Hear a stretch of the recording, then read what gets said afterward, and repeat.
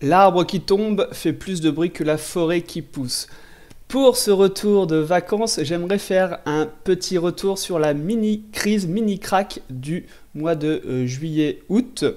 Ensemble, on va donc comprendre pourquoi, qu'est-ce qui a causé ce mini-crack, essayer de comprendre les raisons, et on va essayer d'en tirer des choses à retenir pour le futur et pour vos prochains investissements.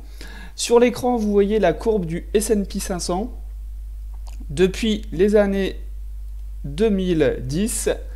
Et ce qui nous concerne donc, c'est le mois de juillet-août 2024 avec ce, ce qu'on appelle un V-bottom, donc euh, une baisse qui est aussitôt avalée euh, et on revient au même niveau qu'avant la crise.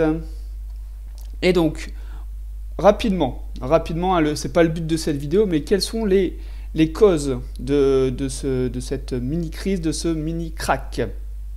Alors on a eu le risque de carry trade sur le yen. Si vous ne savez pas ce que c'est, je vous encourage à regarder des articles ou à d'autres vidéos qui vont en parler plus en détail, mais en fait, les taux sur le yen sont très, tellement faibles que beaucoup d'investisseurs empruntent des yens pour les convertir par la suite en dollars, afin de les placer sur des actifs plus rémunérateurs comme des obligations américaines.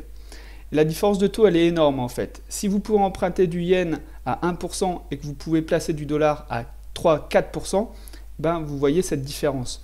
En plus, on a la monnaie yen qui est en baisse par rapport au dollar. Donc, si vous remboursez du yen 10 ans plus tard, ça va vous coûter moins cher que ce que vous avez emprunté en dollars.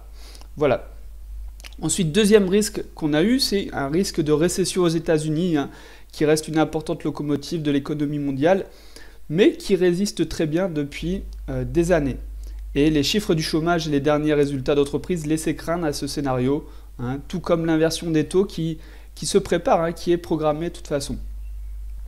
Et puis on avait aussi eu les algos de trading très présents en août et euh, avec une faible liquidité, donc peu d'acteurs sur le marché, les algos font varier euh, de manière plus significative les prix et ça amplifie les mouvements euh, et donc provoque des excès. Voilà un petit peu pour les raisons qu'on peut évoquer euh, sur ce mini crack. Ensuite, qu'est-ce qu'il faut retenir pour vous en tant qu'investisseur?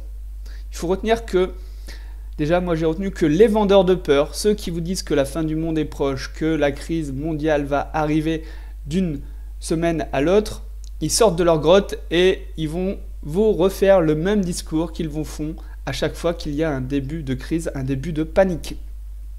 Qu'est-ce qui se passe au final? On le voit, les niveaux du S&P sont revenus au même niveau qu'avant. Voilà. Donc deuxième point à retenir, les graphiques donnent des informations sans nos biais humains. Les graphiques ne mentent pas, on ne peut pas interpréter euh, les, euh, les, graphiques, chacun voit la même chose sur les graphiques. C'est-à-dire qu'on a une baisse, effectivement, mais qui a été complètement euh, corrigée et rattrapée lors des trois semaines d'après. Voilà ce qu'on nous dit. Donc on est loin, très très loin de la fin du monde pour le moment. Qu'est-ce qu'on peut retenir aussi? C'est que le marché, en fait, le marché boursier anticipe toujours. Les prix sont anticipés. Donc on prévoit, dans les prix sont prévus les résultats futurs, les bénéfices futurs, etc. etc. Et c'est lorsqu'il y a une surprise et de l'incertitude que les marchés s'affolent et qu'on peut avoir des excès, comme on l'a vu à la baisse ou à la hausse d'ailleurs. Retenez bien ça, c'est quand il y a des surprises, quand il y a quelque chose d'imprévu, quand c'est de l'incertitude, qu'on peut avoir des excès aussi bien à la hausse qu'à la baisse. Et n'oubliez pas de retenir ce dernier point, et après je vous laisse tranquille pour cette vidéo de rentrée, les crises financières, par définition, ne sont pas planifiables, ne sont pas prévisibles. On ne peut pas prédire une crise financière. par définition, en fait. Parce que tout est anticipé dans les prix et il faut vraiment un élément nouveau, un, un élément d'incertitude incroyable pour faire plonger les marchés financiers.